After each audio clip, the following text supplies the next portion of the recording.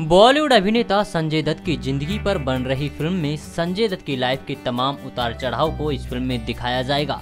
संजय दत्त अपनी वाइफ मान्यता दत्त से बहुत प्यार करते हैं। बता दें कि मान्यता संजय दत्त की तीसरी पत्नी है। आपके मन में ये सवाल उठ रहा होगा कि आखिरकार संजय दत्त ने तीन तीन शादियाँ क्यों की?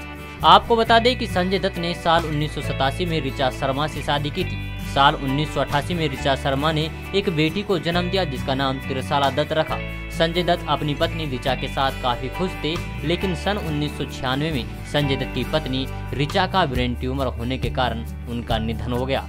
ऋचा शर्मा के निधन के दो साल बाद, साल उन्नीस सौ अट्ठानवे में संजय ने रिया पल्ले से दूसरी शादी की। संजय दत्त की दूसरी शादी भी कुछ खास सफल नहीं रही, और साल 2005 में संजय और रिया किन्हीं कारणों से अलग हो गए साल 2005 में रिया से तलाक के बाद 7 फरवरी साल 2008 को संजय दत्त ने मान्यता दत्त से तीसरी शादी की।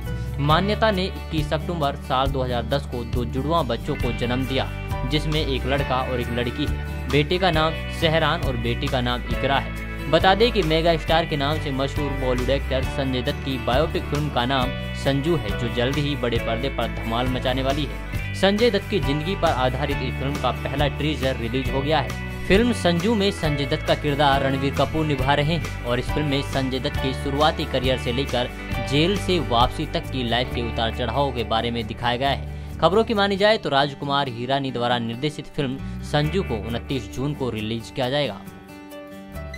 Next nine life news report.